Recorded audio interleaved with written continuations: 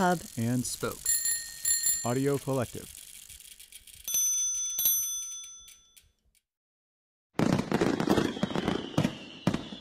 What's that?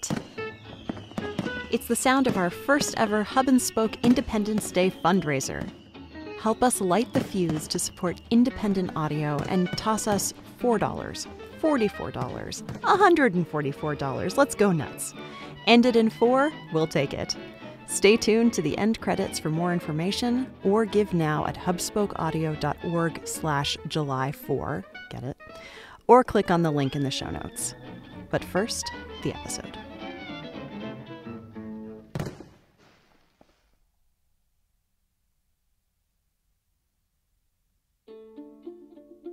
Okay, I see a young woman, maybe in her early 20s or late teens. She seems quite young. And she's standing quite plainly in a long, flowing white dress. and it's long and rectangular, so it just really shows like the length of the lady. It's quite beautiful. And her hair, this brilliant red colored hair, kind of disheveled. It's not neatly coiffed, I guess. striking red hair. It's almost like a fox's hair. She's holding a white flower in her left hand. Behind her is, uh, looks like maybe very thick white curtains. She's almost fading into the curtain, but uh, her red hair really makes her stand out. Um, so you get the sense that she's got a lot of power and strength to be all in white and standing out against her white backdrop. She looks very almost similar to, I guess, a person today, but the dress is definitely like of that time. Uh, it's got long sleeves and white cuffs, and the sleeves are has a little more gray in it. There's a belt around the the bodice. Is that what you call that? With a um, with a bow. It looks like silk. Reminds me almost of a waterfall. It's like the the froth just kind of cascading down, although it's very long and straight, doesn't have a lot of lace or, or ripples, but it sort of has that falling look. The dress looks kind of like a wedding dress. It looks very religious, kind of reminiscent of the dresses that people put their children in to be christened or baptized or for their first communion. I don't know, maybe a prom dress at the time. She's she's going to the prom. So with with the white dress and the flowers, it kind of makes me feel like maybe a spurned lover, you know, someone who was jilted at the altar. she has kind of a faraway look, like she's contemplating something. Either just woke up or maybe going to bed. You're standing on the edge of a lake, and there's this like angelic female being that's like kind of wispy at the edges, so a little ethereal that's coming to you from across the lake to tell you something, to warn you something. She disappears into smoke. I mean, classic purity, chastity, virginity. It makes her seem kind of fierce, like she's so angelic and beautiful and pure, but she's has kind of conquered this wolf on the on the ground. She's standing on a a rug that disturbs me because it's a dead animal. I see a dog hiding in the carpet. And he's also staring at me, like also kind of asking, "What are you doing here?" I am very actively trying to avoid the wolf, bear kind of thing that's there. It's really not doing it for me. I don't know if it's a bear skin or a wolf skin rug, and that rug is on top of a like antique type blue and white Persian rug. And there are some flowers on the bear between her dress and the bear's face in the foreground. Um, she's even dropped some flowers onto the wolf, uh, so it's sort of like her dropping the mic on this wolf that she's um, sort of very casually conquered.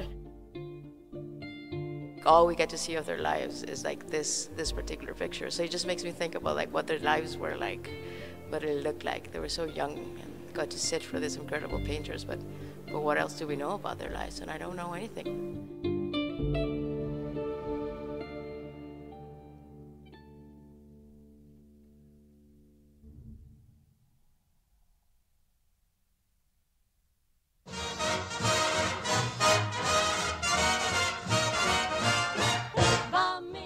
The Lonely Palette, the podcast that returns art history to the masses, one object at a time. I'm Tamar Avishai. Episode 63 James Abbott McNeill Whistler's Symphony in White, number one, The White Girl, from 1862.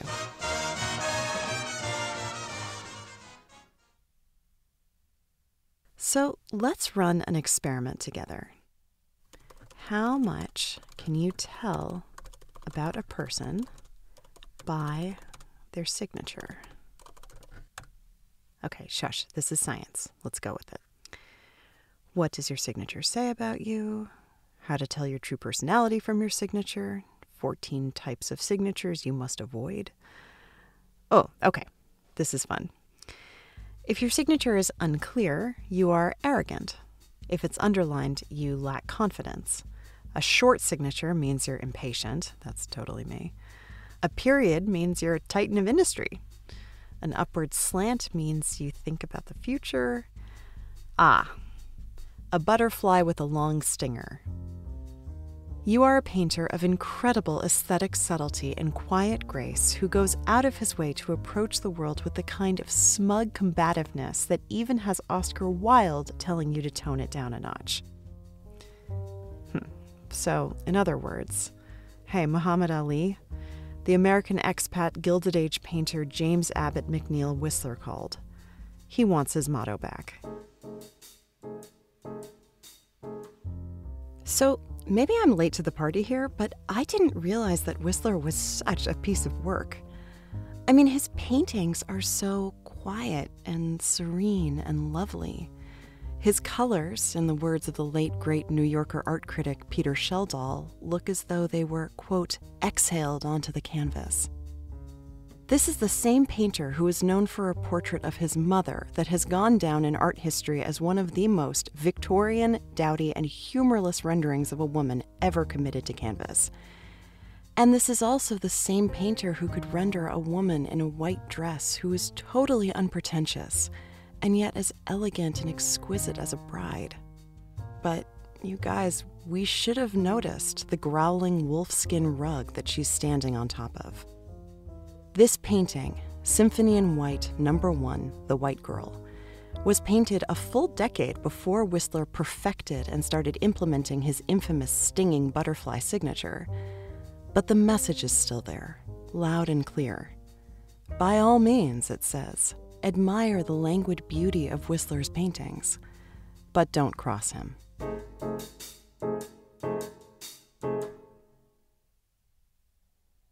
The story of Whistler is best told as a story, starting at the beginning and moving chronologically through his life, where, like we saw with Caravaggio in episode 60, the paintings of a very public punk responded to that punk's circumstances.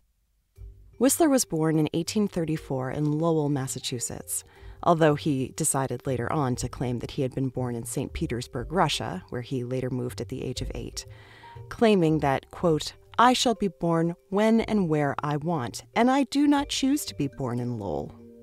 Burn. So that really gives you the sense of the kind of kid he was moody and unfocused, brilliant and obnoxious.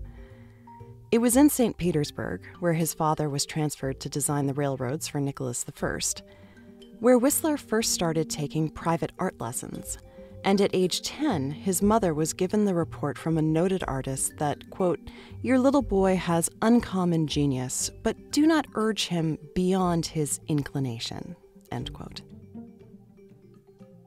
He lived up to that advice, imagining an art career, but making a pit stop beforehand at West Point Military Academy, where he was skillful both at drawing maps and the little caricatures of mermaids and whales in the margins and was then summarily kicked out for being sarcastic, rebellious, and growing his curly hair too long like a damn beatnik. He packed his bags, moved to Paris to pursue art professionally, and never came back to the United States. Once in Paris, Whistler fell in with the kind of set you'd imagine for a rebel artist without a cause. Gustave Courbet, Henri Fantin Latour, Edouard Manet, and the poet Charles Baudelaire, who actually very much identified a cause for them all to explore modernism itself. We've looked before at the origins of modernism in mid 19th century Paris, particularly when we looked at Sargent in episode 11, where the most important and revolutionary characteristics of painting were, quite simply, to show how secular, how ordinary the subject of painting could be. After centuries of church control, biblical narrative, mythological allegory, and the inner turmoil of the post Enlightenment romantics, and we covered that in episode 18, what could be more revolutionary than showing life exactly as it was? That is, boring, mundane. The movement, later classified as realism, aimed to simply show reality, life being lived in all of its unvarnished truth.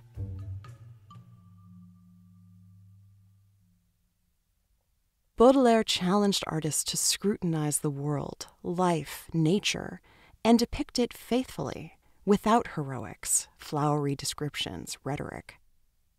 And so you end up with paintings that can seem, on their surface, kind of meh.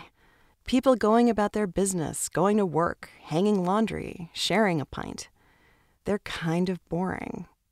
That is, until you realize how brave a statement these artists were making.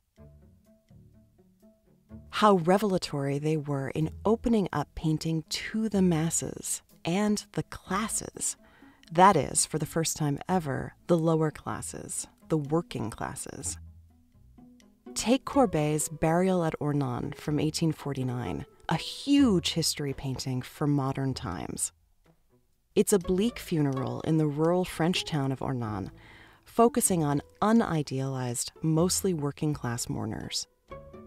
The painting's composition is intentionally off kilter, but the figures are still in a line, mostly interacting with one another, except for the few staring right at us, which implicates us as participants. We are present at this grim scene, standing in front of the unceremonious hole in the center, that is, the grave, which is cut off. Whoever's going in it is not the point, which is the case, Courbet seems to be saying, for so many people. And maybe there's something heroic about acknowledging that, and especially rendering it on a 22 foot long canvas.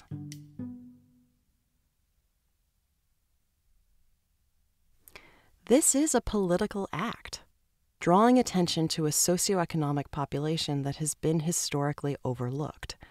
And Courbet has largely been seen as a political painter. But something else happens too when you're painting things as they are, without sentimentality or morality or even real commentary. Something happens that's not political at all, even if it's also revolutionary. Another poet philosopher of the group, Théophile Gautier, was considered the founder of what would become the aesthetic movement, where Whistler ultimately found his home. Gautier popularized the phrase l'art pour l'art, art for art's sake, meaning that art doesn't need to have some higher purpose, some didactic lesson, some moral takeaway. Instead, it can be independent of, in Whistler's words, quote, all that claptrap.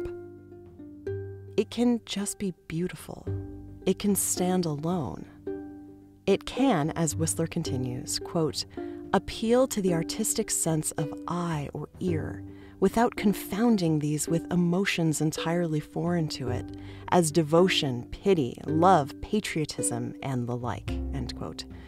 You know, the demons you must slay to achieve success, as Mr. Burns would say. Furthermore, the capital A aesthetics continued. The artist's responsibility was not to society or to nature, but to himself.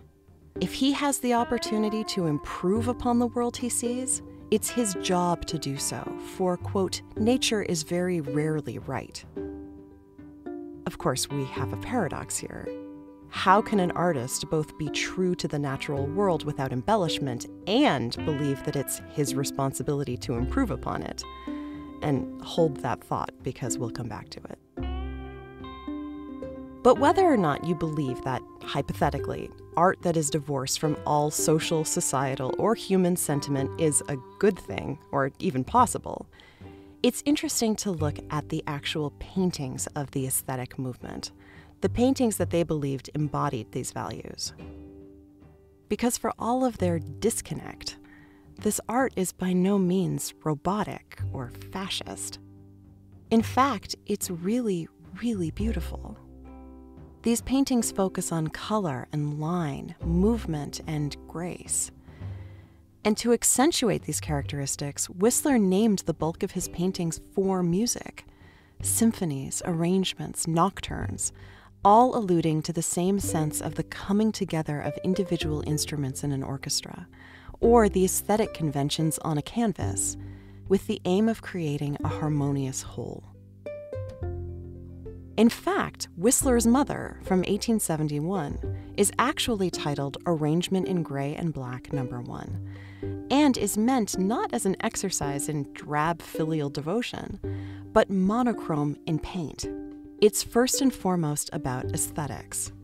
He uses an intentionally constrained, austere palette to capture the diversity of shapes while still rendering the unvarnished specificity of her face and her hands and the lacy bonnet and handkerchief as they emerge, contrasting from the large black mass of her dress. It's wonderfully reminiscent of another dowdy crone in black, Degas' Aunt Fanny from a year later, which we looked at in episode 4. Reminiscent not just because of the grim expressions of the sitters who look as though they'd rather be anywhere else, but because these portraits aren't telling their stories, so much as the story of the entire movement that they find themselves in.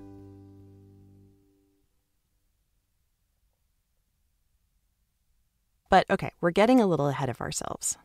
Let's jump back a decade to where we left Whistler and his buddies in Paris in the mid 1850s, and then to London, where he moved permanently in 1859 although he traveled back to Paris frequently after that.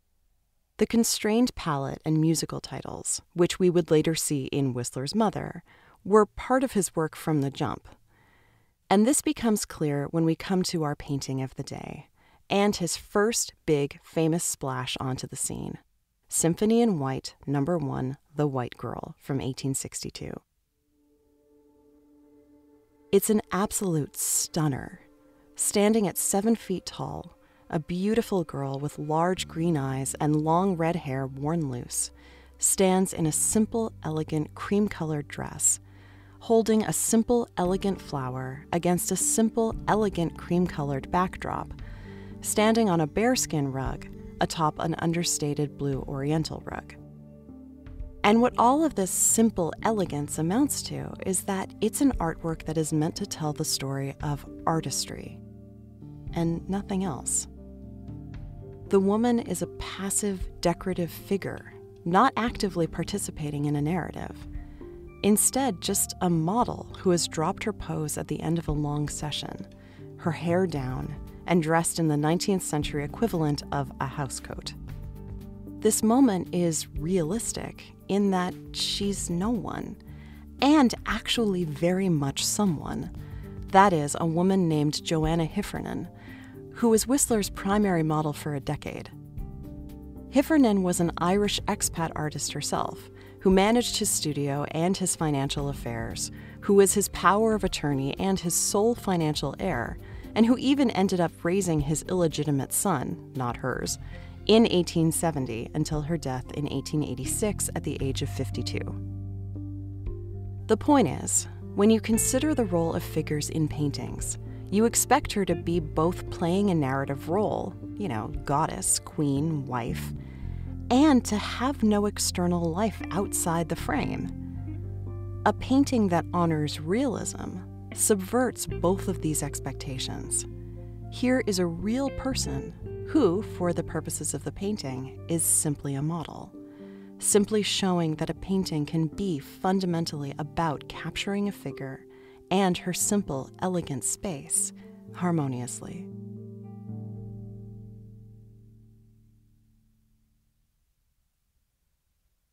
But for a painting that was meant by design to say so little, it certainly got tongues a waggling. It was rejected by both the Royal Academy in London and the Salon in Paris, although it was eventually accepted by the Salon des Refusés, the Salon of the Refused, an independent exhibition spearheaded by Courbet and his friends in 1863. Whistler exhibited this painting alongside Manet's infamous Déjeuner sous l'herbe, Luncheon in the Grass, and the pair of paintings got into their fair share of mischief. Art for its own sake was still a revolutionary idea, especially as it played out in realism. Manet's scandal came from the merging of model and real life, the naked, not nude woman in the grass lunching with clothed men, which, as with many of the paintings that got Manet in trouble, was a trope that was actually borrowed from art history, specifically Titian's Pastoral Concert from around 1509. But the difference is that here, it's been given Manet's trademark cringy little spin. The woman is not an allegory or an apparition or a goddess, but most likely a very real prostitute, alluding to the very real reality of the mid century French bourgeoisie, which was not something they wanted to talk about in polite company or have displayed on their hallowed salon walls. Still, the painting's infamy helped to boost Whistler's. Both paintings were seen by critics as making a big capital S statement with their subject matter. And Manet's did make a statement about art history, about contemporary audiences, about class. But Whistler's painting did not. No big statement. It was just supposed to be art for its own sake, no matter what those fucking critics said. Now, why it was so important for critics to pull meaning out of this painting honestly isn't really our concern here. Beyond the fact that Victorian era critics, as we've discussed, were used to paintings meaning things.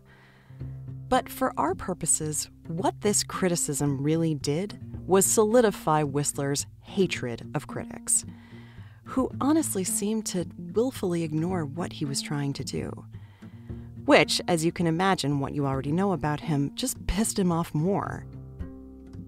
Because what they did was look for every bit of allegorical meaning that they could squeeze from his paintings. Paintings that he already said, with Seinfeldian assurance, were about nothing. The Girl in White is a formalist exercise not unlike how he would later describe the portrait of his mother. Quote, My painting, he said, simply represents a girl in white standing in front of a white curtain. End quote. But, oh no, no, the critics said. It was about a ghost, a bride, maybe a ghost bride, definitely about innocence lost. I mean, see the virginal white lily? See the lusty masculine barehead? Hell, maybe she's the Virgin Mary. Maybe she's the heroine of Wilkie Collins's novel, The Woman in White a book that Whistler said, adamantly, he had never read.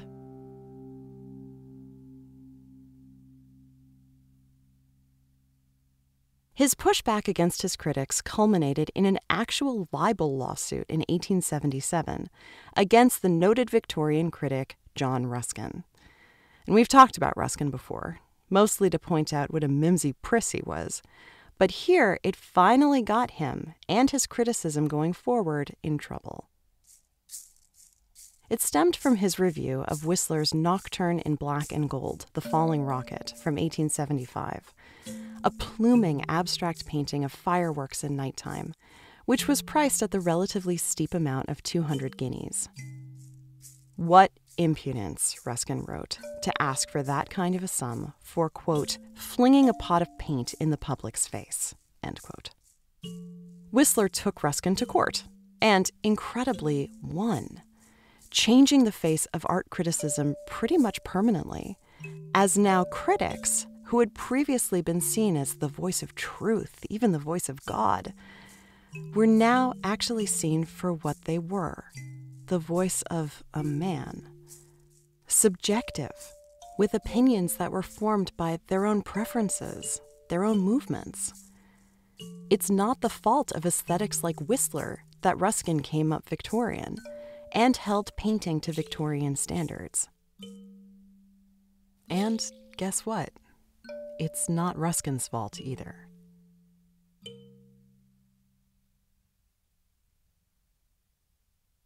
But I should also be clear In this battle between an artist and his critic, there's no real winner here. Because the critics had a point when they held Whistler to account for the ambiguities, even contradictions in his philosophy.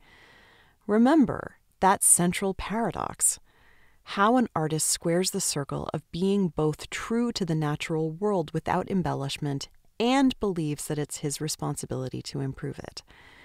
Spoiler, he doesn't square it, he just paints it. And that's what the critics noticed. That said, there were other times that they just seemed to be messing with him, willfully ignoring what he did well and kicking his hornet's nest. Like when they pointed out that for a painting that was all about aesthetics, in his third in the series of symphonies in white, he featured a woman in a yellow dress. And I'm with Whistler on this one when he asks if they also expect a symphony in the key of F to only contain the F note. That said, if Whistler is going to claim that his work is purely aesthetic, purely about color and form and completely divorced from society, how does he account for the clear influence of the British pre Raphaelites in his painting of Joanna Heffernan and in his other women in white paintings that depict women who lie languidly with their long faces and brilliant eyes and rich, loose hair? and who absolutely positively reference the very same Bible stories and allegories that occupy the pre Raphaelite canvases. A movement that, it should be said, was particularly beloved by, you guessed it, John Ruskin.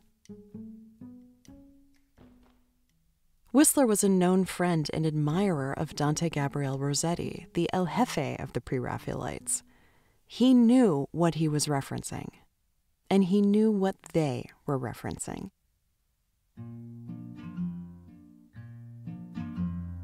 And this is why Whistler's victory over Ruskin hasn't gone down as an unmitigated success for artists everywhere. Whistler's attitude essentially served to ruin his own reputation, at least while he was alive. He just couldn't seem to keep a friend, really, besides Joanna Heffernan. He was a great buddy to Oscar Wilde and even credited for some of Wilde's best singers, only to lose him in a series of public spats, which itself culminated in Wilde, quote, symbolically murdering him by basing the doomed artist character of Basil from the picture of Dorian Gray on Whistler. And I'm not going to spoil it entirely, but suffice to say, his murder is described with a side of relish. Poor guy. It takes a particular kind of self centered waspishness to lose the bitchy conspiratorial confidence of Oscar freaking Wilde. And yet, quote, Whistler, Wilde wrote, spelled art with a capital I. And I, for one, am still kind of surprised by all of this. Even though I see Whistler's signature and the bear under Joanna's feet, and almost feel like I should have seen it coming.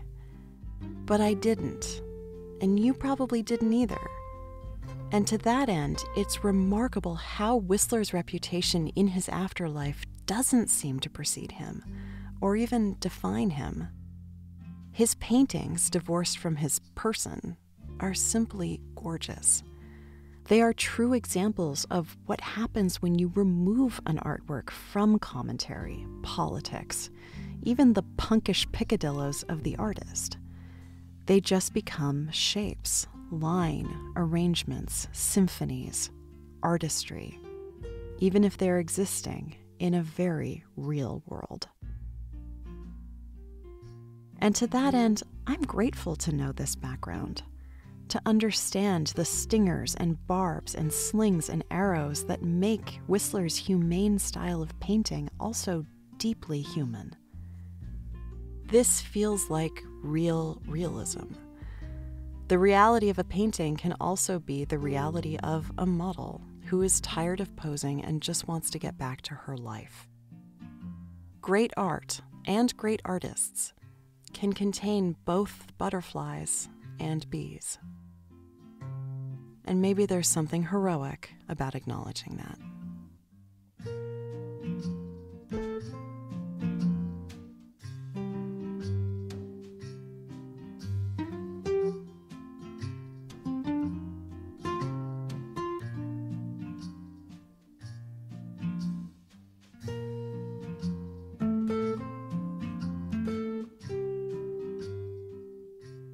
Special thanks to Debbie Bleacher, roving correspondent Melissa Galvez, and the intrepid museum goers at the National Gallery in Washington, D.C. For more information, past episodes, and all the images, go to thelonelypalette.com, where you can also learn more about commissioning episodes, buying merch, signing up for our monthly newsletter, and booking virtual museum tours with yours truly for a summer office team building exercise that your coworkers will actually want to attend. You can also learn more about supporting the show at patreon.com slash lonelypalette. No amount per episode is too little, and you really do keep the lights on here. One more time, that's patreon.com slash lonelypalette. The Lonely Palette is a proud founding member of Hub and Spoke, a collective of idea driven and now donation seeking independent podcasts. That's right, our Independence Day fundraiser is in full swing. We've claimed the 4th of July as our own in honor of independent audio makers everywhere. And why support independent creators? Because maybe you just found out that all your favorite producers got laid off. Maybe you want audio that isn't beholden to corporate interests and politics. Maybe you find that all corporate podcasts kind of sound the same. And this is why you listen to us, right? For the messy, offbeat, pure podcasting that only comes from being completely and totally independent. So support our mission at hubspokeaudio.org slash July 4 or go to the link in the show notes and thank you from the bottom of our hearts. And after that intro, there is no better episode to plug than the latest episode of Open Source with Christopher Lydon, the world's first podcast, interviewing our very own Erica Heilman of Rumblestrip, recipient of the world's first Peabody Award by an independent show. I am honored to work with them and proud to share their conversation with you. Check it out at radioopensource.org, hubspokeaudio.org, or wherever you get your podcasts.